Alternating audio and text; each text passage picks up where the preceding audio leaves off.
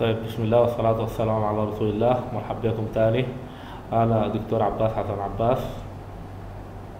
قسم الهندسة الميكانيكية كلية السلامة للعلوم والتكنولوجيا. آه نواصل في محاضراتنا من على البعد. حنواصل في ال steam cycles.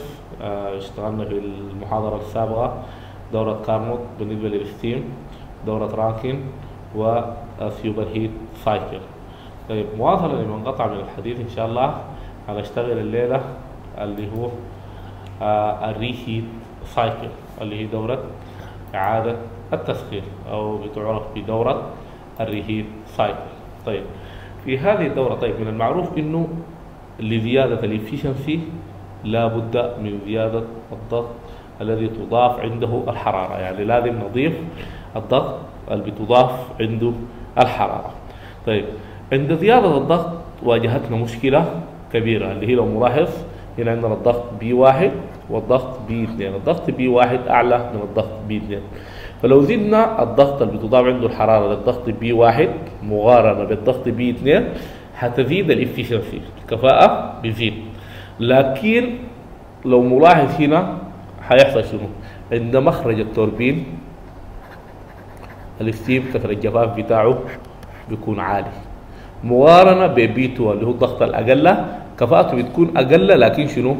لا ده لو أخذناه X 1 دي حتكون شنو؟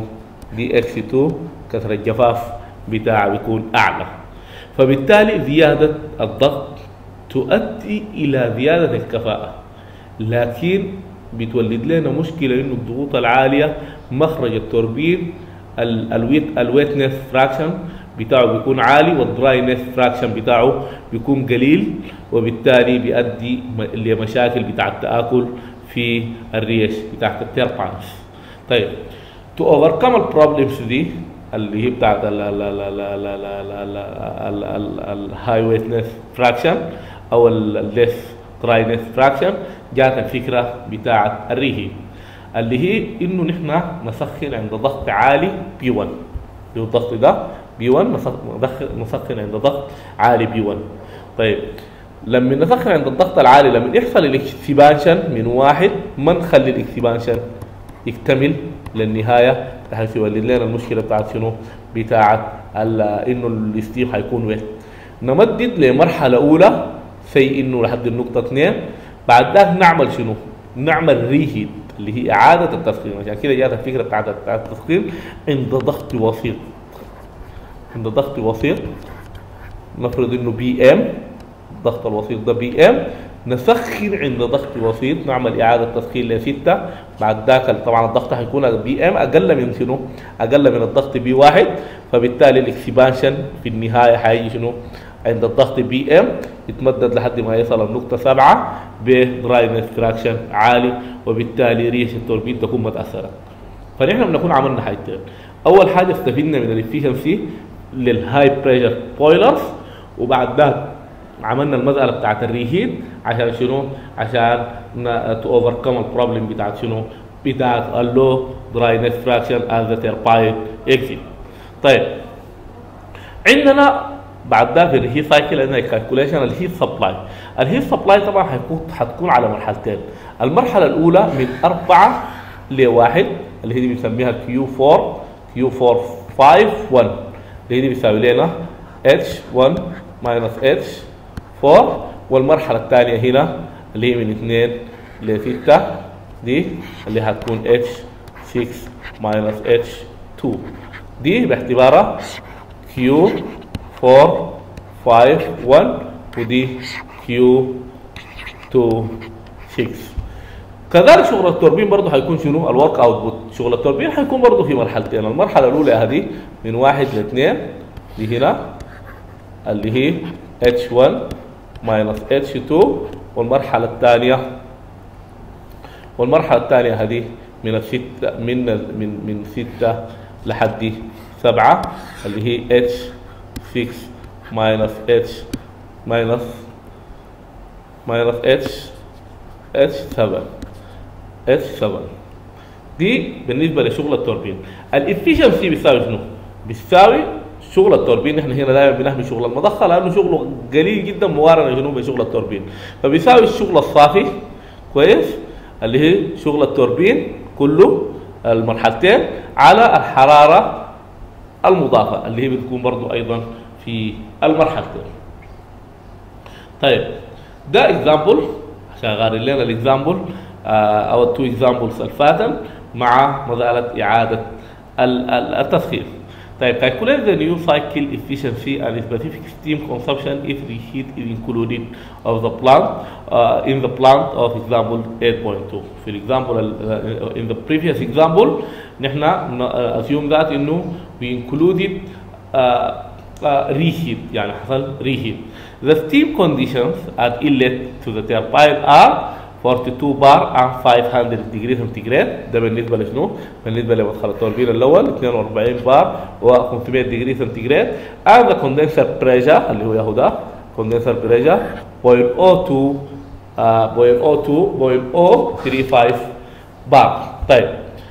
As before الكلام ده كله في المرة اللي فاتت نفس الحاجة. Assume that the steam is just dry saturated or leaving the first turbine طيب ال first turbine من واحد لاثنين مخرج ال first turbine يا ده قال أفرض إنه في النقطة دي عند الضغط الوسيط ده ال steam just dry saturated يعني شنو؟ يعني في الخط بالضبط. لا بيجاي ولا بيجاي في الخط بالضبط. ده بنقول عليه شنو؟ just dry saturated يعني في الخط. يعني هنا ده في الخط بالضبط كده. يعني لو جيت داير الاتش عبارة عن اتش جي داير الاس هي عبارة عن اف جي وهكذا. وده key يعني ال- ال- ال- الموضوع ده key key information في حل المسألة. لانها بيساعدنا كثير في حل المسألة بعدين. It reheated to the initial temperature. بعد ذاك من هنا عملنا له reheat للنقطه 6 لل initial temperature. يعني دي ذاتها بقت شنو؟ إيه؟ fix اللي هي شنو؟ 500 degree centigrade 500 degree neglect the feed pump work أهمل. شغل المضخة. ده شغل المضخة. لا أهمل. طيب هو في المسألة دي حليها بال chart نحن هنحلها بال table وده تبقى لكم زي practice عشان الناس تمشي تستخدم ال table وتمشي تحل المساله دي أنا هديكم hints أو guidelines إنه كيف تحل المساله دي أو how to find ال H في كل كل ال H ات بعد ذلك أنت تحل المسألة. فمثلا عندنا ال H 1 H 1 دي طوالي بيساوي شنو؟ بيساوي H جي ار لأن G لأنها في ال superheat at 42 بار و500 degree centigrade امشي لل superheat شنو؟ table طوالي امشي اجيبها ال superheat ال table امشي اجيبها طيب ده بالنسبة ل 1 مباشر من ال superheat ال table بس عند ال 42 500 degree centigrade هجيبها النقطه 2 أنا ما أعرف الضغط الوسيط كم لكن هي قال just dry saturated أنا عارف إنه S 1 بيساوي S 2 لأنه العملية isentropic process وال S 2 دي ذاتها بتساوي ال S G at P M الضغط المتوسط ده أسميه P M سميته P M أمشي للجدول شنو؟ أمشي لل saturated. table عند ال S G at ال S G طبعا قيمتها بتكون معروفة؟ ال S G قيمتها بتكون معروفة؟ أجيبها طوالي اوجد شنو؟ اوجد ال P M اوجد ال P M وكده قيمتها بتكون معروفة. كده أنا حددت شنو؟ حددت الضغط الوسيط. يعني أنا S 1 معروف عند ال 42 بار 500 degree centigrade اوجد ال S 1 بقى عندي قيمتها. اللي هي بيساوي S 2 بيساوي S G. امشي saturated ال table بال S G دي. قصاد ال S G أجي القيمة. الضغط المقابل لها ده شنو؟ ده الضغط المتوسط ده اللي هو الضغط اللي إحنا حصلنا فيه شنو؟ عملنا فيه إعادة التسخين. طيب عند الضغط المتوسط ده ذاته طبعا ده موجوده قيمته موجوده قيمته عنده ذاته عند ال P M ذاته بعدين اوجد القيمه بتاعته وشنو؟ and 500 degree centigrade أمشي وين؟ أمشي لل superheated table ال superheated table أمشي لل superheated table أجيب شنو؟ أجيب اتش 6 بعد اوجد اتش 6 معروف إنه اتش 6 بيساوي لي اس عندي اس 6 بيساوي S 7 الاس 6 بيساوي الاس 7 أجيب كسر الجفاف. اس 7 أجيب كسر الجفاف. أجيب كسر الجفاف X 7 معلش بعد أجيب كسر الجفاف X 7 نفس الأمثلة اللي فاتت. يعني أنا ما عندي الضغط بتاع ال condenser أجيب الاتش اف والاتش اف جي وعندي ال H 7 أجيب كسر الجفاف. من كسر الجفاف آه من ال SF وال SFG عند ضغط ال boiler وعندي ال S 7 أجيب كسر الجفاف بعدها أجيب عندي الاتش اف والاتش اف جي عند الضغط المطو التحت أجيب ال H 7 وال H 3 هي عبارة عن شنو؟ هي ال H 3 دي ذاتها هي عبارة عن ال HF عند الضغط بتاع ال condenser. كده بكون جبت كل الاتشات بعد جبت كل الاتشات طوالي أجيب ال turbine work مرحلتين. دي المرحلة الأولى. الاتشات عندي ودي المرحلة الثانية. اجمعهم مع بعض ده شغل التوربين. ده شغل التوربين. بعد ده ال heat supply برضه مرحلتين دي المرحلة الأولى ودي المرحلة الثانية. لو رجعت الرسمه بقى الكلام ده identical مطابق. أجمعين أجيب شنو؟ أجيب ال heat supply ال cycle efficiency بيساوي صافي الشغل على الحرارة المضافة. جبتها وال specific steam consumption واحد على صافي الشغل جبتها صافي الشغل. فبلقى إنه ال efficiency في ال reheat زادت. وكذلك بلقى ال specific steam consumption قل وبالتالي معناها ال reheat يعني ماشي كويس. طيب ماشي لشنو بعد ذاك؟ بمشي لل regenerative cycle عندنا ال regenerative cycle آه اللي هي في هذه الدورة أنا بحاول أوجد الآتي.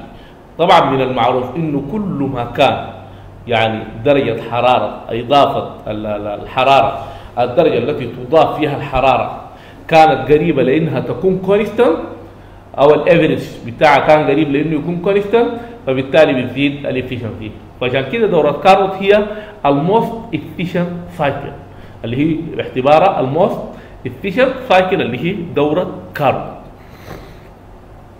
فنحن عندنا ال regenerative cycle الهدف منها شنو؟ الهدف منها رفع درجة حرارة ال feed water الداخلة لل boiler قبل ما تدخل ال boiler ل تكون قريبة لل saturation temperature بتاع ال pressure بتاع ال boiler.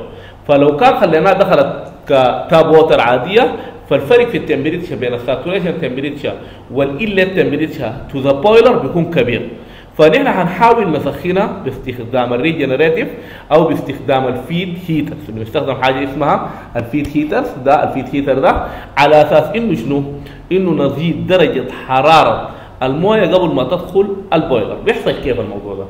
أثناء ما ال steam ماشي للترباين نخليه يتمدد في المرحلة الأولى. يعني ده اللي هو الستيم بعد دخل الترباين في المرحلة في في واحد.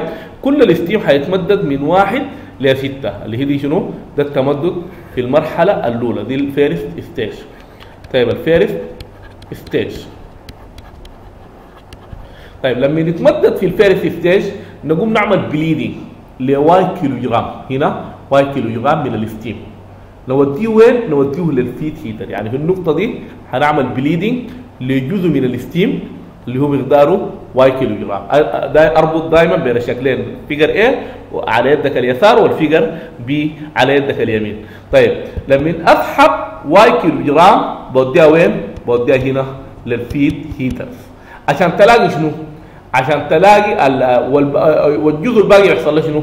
يحصل له تمدد اللي هو ده ال second ال second stage ال second stage ده ال second stage ال first stage يتمدد البخار كل واحد كيلو جرام. لكن في ال second stage التمدد اللي كان واحد؟ ناقص Y كيلو جرام من البخار. يعني التمدد كله للبخار الأول والجزء الثاني كان التمدد للبخار الثاني. البخار الثاني اللي هو 1 كيلو جرام وحيخش وين؟ حيخش ال condenser عند النقطة 2 طيب معناها البخار هنا عند النقطة 6 خش لي وين؟ خش لي ال feed heater وهنا الباقي عند النقطة 2 دخل وين؟ دخل ال condenser ال Y ده لما دخل ال condenser حصل له شنو؟ حصل له تكثيف لحد ما وصل وين؟ وصل النقطة 7 وصل النقطة 7 وده برضه في ال condenser حصل له تكثيف لحد ما حصل شنو؟ النقطة 3 هنا ده بعد ذاك وديناه وين؟ وديناه ل feed pump زادت ال pressure بتاعه لحد ما حصلته ضغط ال boiler هنا ده عند النقطة 4 حصل ضغط ال boiler بعد ذاك من النقطة 4 دخلناه وين؟ دخلناه لل feed heater ال feed heater عمل شنو؟ رفع درجة حرارة ال steam في النقطة 4 من 4 وداه لحد وين؟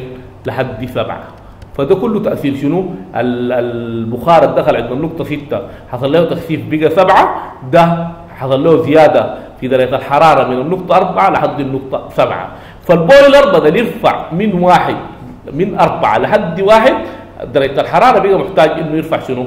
من واحد لحد سبعة. وإذا أهملنا شغل المضخة H 7 بيساوي H 8 فبالتالي يرفع من واحد لحد 8 دي عملية ال regeneration اللي هي بتزيد درجة حرارة الموية الداخلة لل boiler بتخليها قريبة لل saturation temperature corresponding to the saturation pressure of the boiler. طيب نحن عشان نحسب شغل التوربين عشان نحسب الشغل بتاع التوربين التوربين في مرحلتين المرحلة الأولى هذه اللي هي باعتبار H1 ناقص H6 زائد المرحلة الثانية ما كل البخار يتمدد لأنه شلنا منه جزء.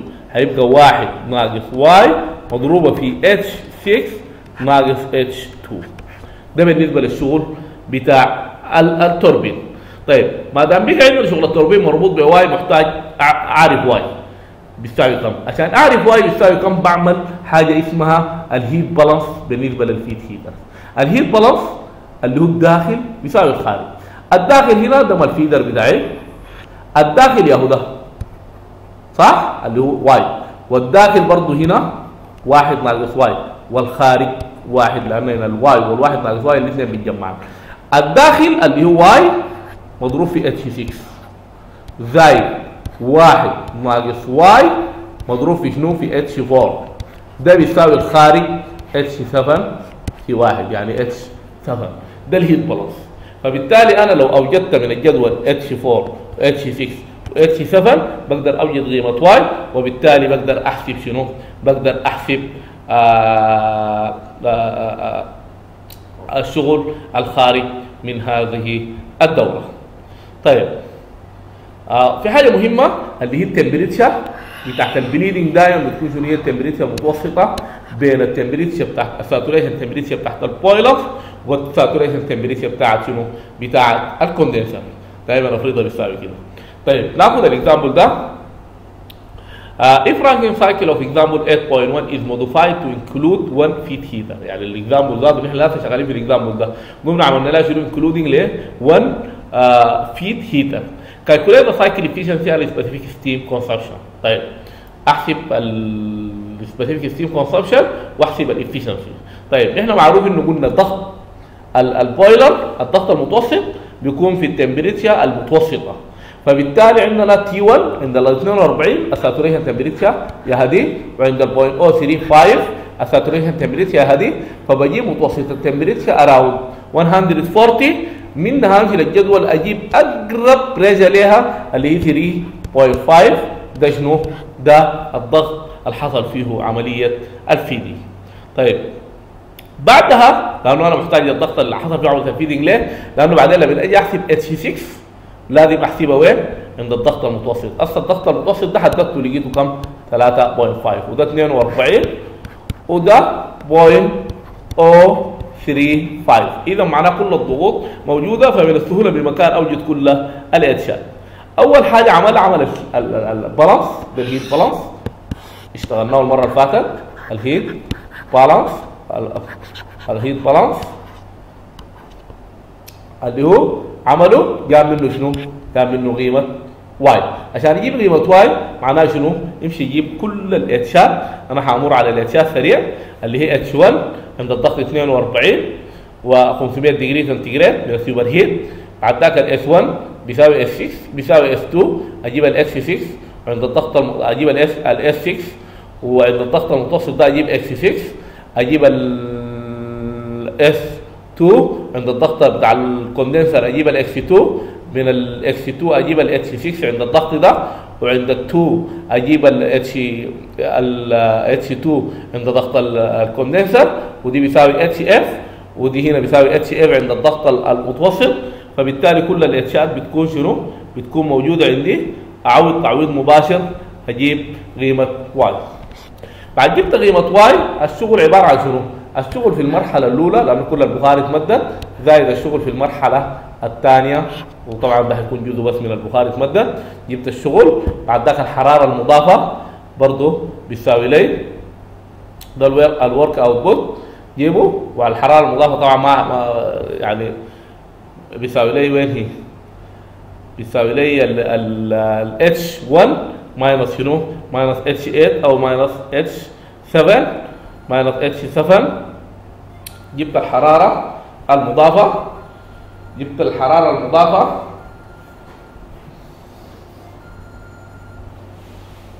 جبت الحرارة المضافة. فبالتالي صافي الشغل على الحرارة المضافة. بتديني شنو؟